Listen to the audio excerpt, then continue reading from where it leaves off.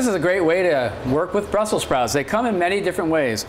Commonly at the farmer's market, they come on the stem, or you can also get them cleaned and separated already off the stem. Advantages to on the stem, they will actually keep longer.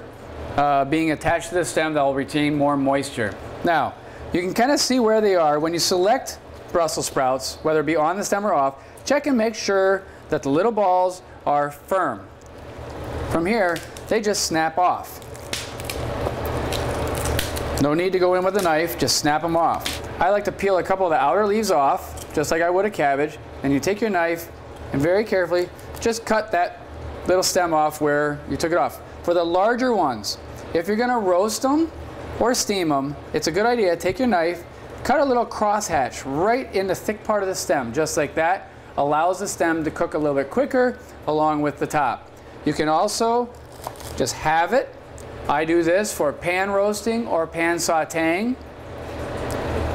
Or you can also just take the outer leaves off, trim the end, and steam it just like that. Dress it with a little salt.